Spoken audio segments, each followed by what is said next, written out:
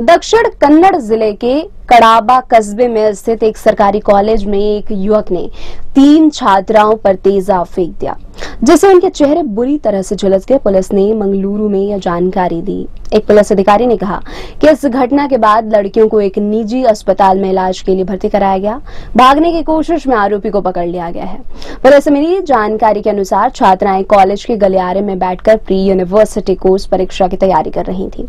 उसी दौरान एक युवक ने उन पर तेजाब फेंक दिया। पुलिस ने कहा कि युवक ने अपनी पहचान छिपाने के लिए नकाब और टोपी पहन रखा था। वह तेजाब से भरी एक बोतल लेकर छात्राओं के करीब पहुँचा और उनके चेहरे पर निशाना बनाकर तेजाब फेंक दिया। आरोपी की पहचान केरल के कासरगोड ज़िले के रहने वाले अबीन के रूप में की गई है।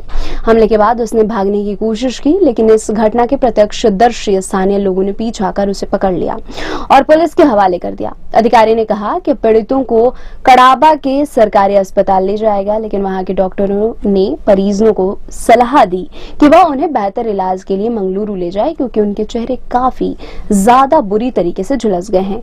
कड़ाबा पुलिस इस मामले की जाँच कर रही है।